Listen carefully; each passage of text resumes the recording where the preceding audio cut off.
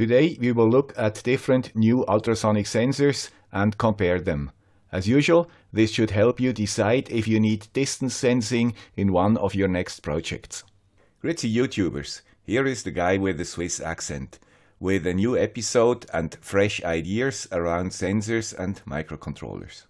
In mailbag videos number 186 and 187, I asked you which parts I should use first for a video.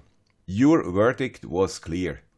The RAK831 LoRa gateway and the ultrasonic distance sensor. The LoRa gateway is still in the making, and I will tell you the story behind it when it's ready. That's why the ultrasonic sensor is first. This is not my first video about these sensors.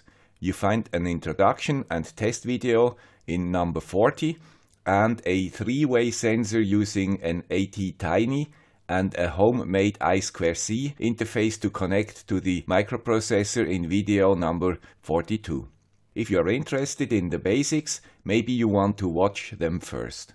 There I used the commonly available and cheap HC SR04, the SRF05 and the US-015 sensors. Today we will only use the SRF05 from this video for a comparison. The rest of the sensors are new.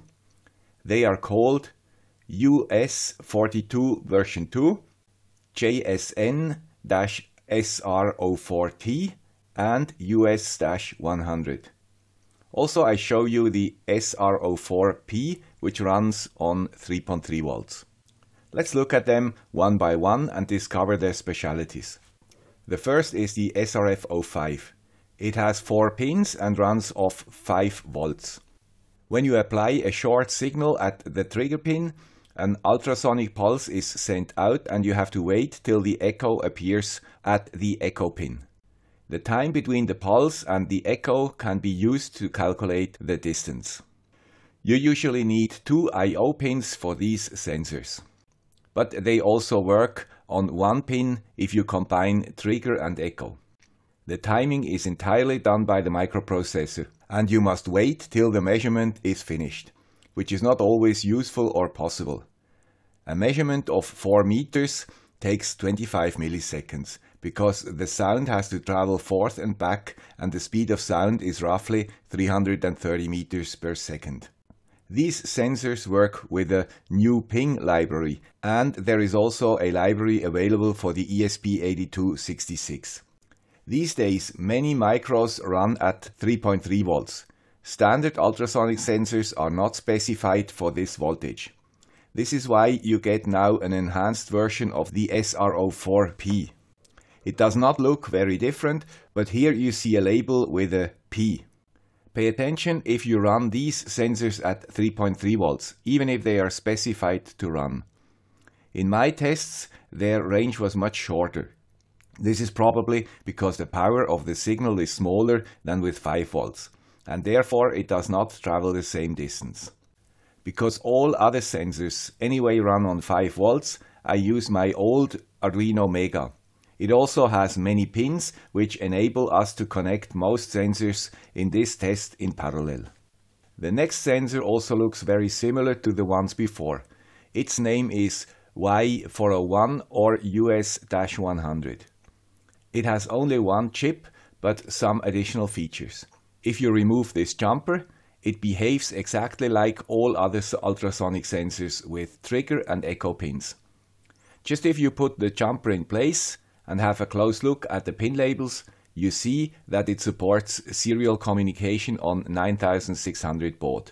I connect it to serial 2 of the Mega and use a library called Ping Serial. This library triggers the sensor to measure distance. You do not need to wait for the result, you can do something different with your MPU. The device takes care of the timing. Good. And because the speed of sound depends on temperature, this sensor has a built-in temperature sensor and you can use the actual temperature to calibrate the distance. Even better. All of the sensors we looked at so far are quite big because they have an independent loudspeaker and a microphone. This is why I bought this sensor. It is advertised to be used in quadcopters to detect the approaching ground. Here it is connected to a flight controller using the I2C bus. This module seems to be a copy of the much more expensive MAX sonar devices. I searched for a dedicated datasheet, but unfortunately did not find one. What I found is that you can use the ordinary wire library for I2C and the device address is 112 decimal. You have to send decimal 81 to start measuring. After a while, you can request 2 bytes, which represents the distance in centimeters. Not very sophisticated. Maybe the product has more features I did not discover. Perhaps you know more.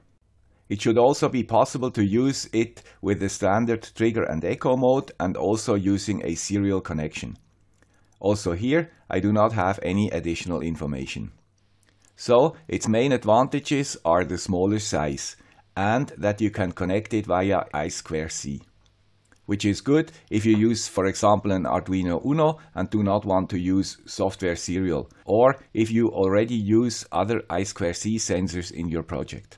This sensor, like all other sensors with combined loudspeaker and microphones, have a transformer on the PCB. This part is sold separately and there I found by chance a diagram of such a sensor. We will later have a closer look at how these sensors work.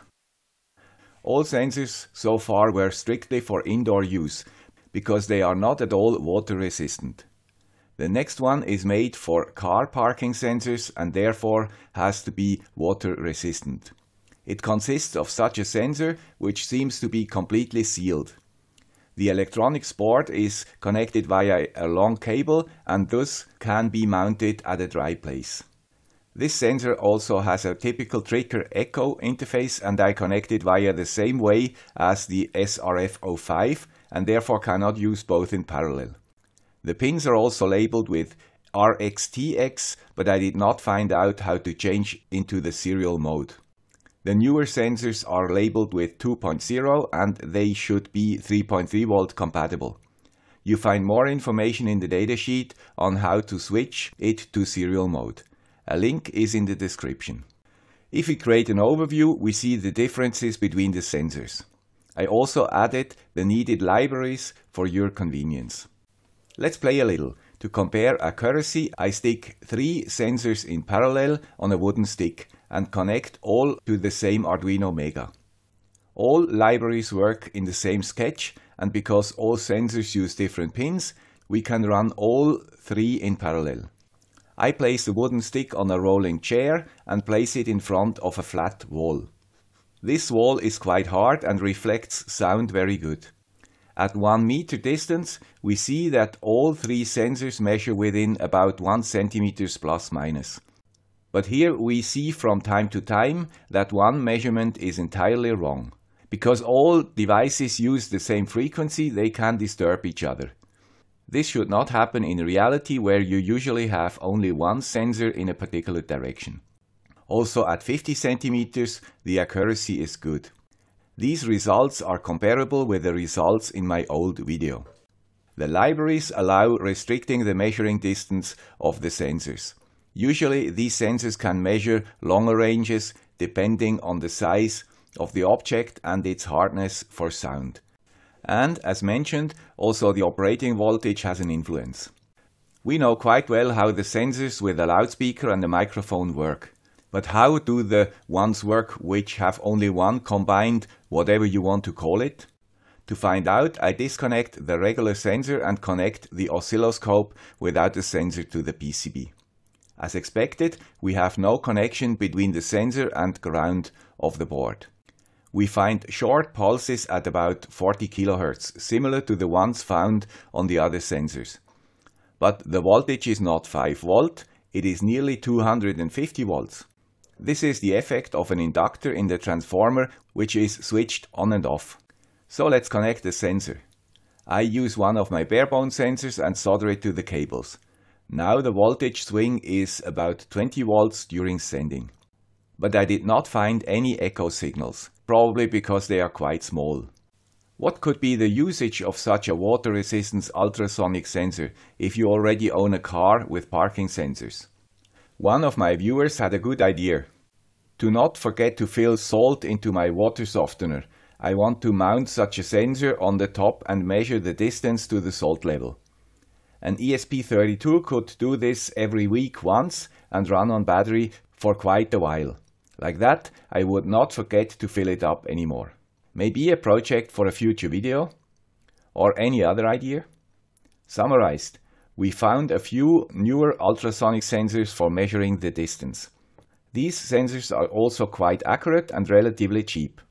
They have an autonomous timing and offload your microprocessor from waiting for the result of the measurement. This is particularly important if you need speed, like in my self-balancing robot and also if you want to use more than one sensor in parallel. Some can be connected using serial communication and one at least also using I2C. Especially the waterproof model extends the range of applications. Unfortunately, I did not find good documentation for all sensors. I hope this video was useful or at least interesting for you. If true, please consider supporting the channel to secure its future existence. You find the links in the description. Thank you. Bye.